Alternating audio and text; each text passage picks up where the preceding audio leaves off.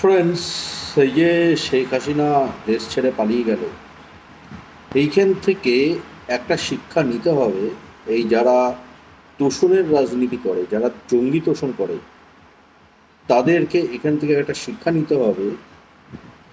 এই যে জঙ্গি তোষণ তো শেখ হাসিনাও করতো, যেটা শুনলাম, শেখ হাসিনা জামাতদের অনেক সুবিধা করে দিয়েছিল, অনেক মাদ্রাসা বাড়িয়ে দিয়েছিল। হুম আর যে হিন্দুদের শিক্ষা ব্যবস্থা ওগুলো ধ্বংস করেছিল স্কুল ফুল ধ্বংস করেছিল, মাদ্রাসা বাড়িয়েছিল, এগুলো তো জঙ্গিদের ফুল তোষণ করেছিল। কিন্তু তারপরে কি হলো?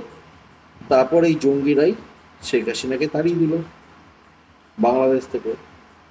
তো এই যে মমতা ব্যানার্জি এই পশ্চিমবঙ্গে জঙ্গি তোষণ করে, কতটা বিপজ্জনক, একবার ভেবে দেখেছে? এই পশ্চিমবঙ্গে যদি বিজেপি না আসতো তাহলে তো মমতা ব্যানার্জিকে এতদিনে তাড়িয়ে দিত ওরা। ঠিক আছে, এই পশ্চিমবঙ্গটাকে পুরো পাকিস্তান বানিয়ে দিত। বিজেপি আছে বলেই ওরা কিছু করতে পারছে না। মানে ওরা মানুষকে পাচ্ছে না তো। ওরা সাধারণ মানুষকে তো পাচ্ছে না, জঙ্গিরা। বাংলাদেশে কি বিজেপির মতন কোনো পার্টি নেই? তারপরে শেখ হাসিনার বিরুদ্ধেও মানুষের ক্ষোভ, হিন্দুদেরও ক্ষোভ। তো হিন্দুরাও বাধ্য হয়ে শেখ হাসিনাকে সরাতে হবে সেখানে বাধ্য হয়ে ওদের সাথে আন্দোলন করেছিল। বিএনপির সাথে, বিএনপি জামাত মোহাম্মদের সাথে আন্দোলন করেছিল। কারণ তাদের কাছে আর কোনো অপশান নেই।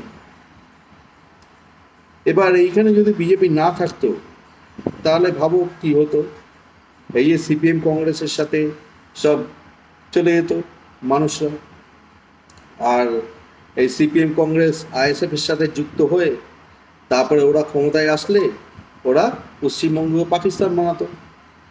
এই পশ্চিমবঙ্গের সাধারণ নিরীহ মানুষের কিছু করার থাকতো না, কারণ বাধ্য হয়ে তারা ওদিকে যেত। কিন্তু এখন যেহেতু বিজেপি আছে, সেই কারণে সাধারণ মানুষ আর ওদিকে যাচ্ছে না। সাধারণ মানুষ বিজেপির দিকে চলে আসছে। সেই কারণে ওরা পারছে না। জঙ্গিরা এই জিনিসটা করতে পারছে না। তো মমতা ব্যানার্জিকে এটা বুঝতে হবে জঙ্গি তোষণ করে কোনো লাভ নেই, জঙ্গিরাই তাড়িয়ে দেয় পরে। ঠিক আছে? এই যে শেখ হাসিনাকে দেখে একবার শিক্ষা নিই।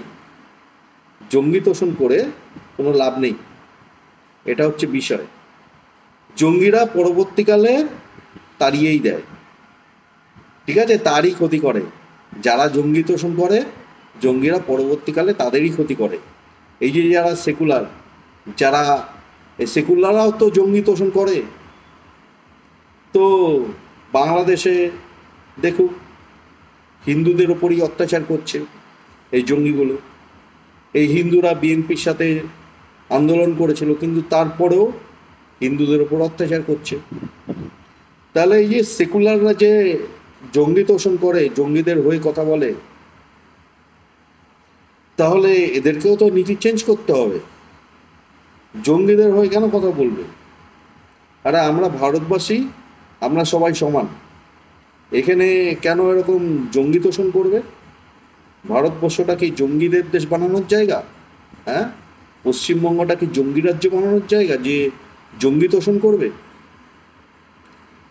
জঙ্গি ফঙ্গির কোথাও কোনো অস্তিত্ব থাকে না। এটা কোথাও রাখা উচিতই নয়। জঙ্গিদের একদম ধ্বংস করে দেওয়া উচিত। এটাই সিস্টেম ঠিক আছে? এটাই সিস্টেম জঙ্গিদের অস্তিত্ব ডিলিট করে দেওয়া উচিত, ধ্বংস করে দেওয়া উচিত জঙ্গিদের। তা না, জঙ্গি তোষণ করছে। এই শেখ হাসিনা জঙ্গিদের তারা খেয়েছে। এই ভারতবর্ষে যারা জঙ্গি তোষণ করে, তাদেরও পরবর্তীকালে বিপদ আছে। তাই জঙ্গি তোষণ বন্ধ করো। জঙ্গিদের তোষণ করলে পরবর্তীকালে বিপদই আছে। এটা মাথায় ঢুকিয়ে নি যারা জঙ্গি তোষণ করছে। জঙ্গি তোষণ করে কোনো লাভ নেই, ভারতবাসীকে তোষণ করো।